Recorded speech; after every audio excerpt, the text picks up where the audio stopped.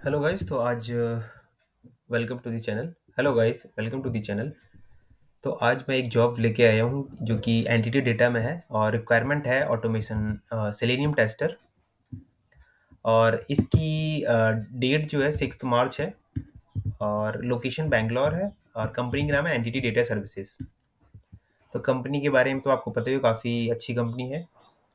Minimum experience जो required है five year का एक्सपीरियंस रिक्वायर्ड है। ऑटोमेशन सिलेनियम बीडीडी और कुम्बर आपको आना चाहिए। एक्सेसिबिलिटी टेस्टिंग रिक्वायर्ड है। स्टोरी ग्रूमिंग से लेके आपको रिक्वायरमेंट एनालिसिस स्टोरी यानी कि आपको एजाइल पे अच्छी आपकी पकड़ होनी चाहिए। टेस्ट प्लान स्ट्रेटजी आपको पता होनी चाहिए कैसे क्रिएट करते हैं। टेस्ट सिनेरियो और end to end test cases execution requirement test traceability matrix आपको पता होनी चाहिए कैसे होती है। इसके साथ ही है end to end testing quality analysis for project retirement services product technology work flow including sprint testing and system testing testing and test automation automation भी इसमें मांगा गया हुआ है। आप इस जॉब को मैं इसका लिंक शेयर कर दूँगा।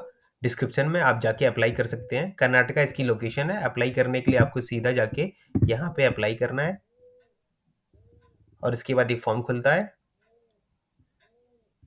उस फॉर्म में आपको जो भी रिक्वायर्ड डिटेल है, वो फिल कर देनी अगर आपका ऑलरेडी एग्जिस्टिंग अकाउंट है तो उसमें आप उससे लॉगिन कर सकते हैं। यहाँ पे आपको रिज्यूमे अपना अपलोड करना है। ईमेल एड्रेस पासवर्ड से प्रोफ़ाइल क्रिएट करनी है। उसके बाद आपको फ़ोन नंबर और जो भी नॉर्मल डिटेल्स हैं, वो आपको देनी है। इसके बाद आपको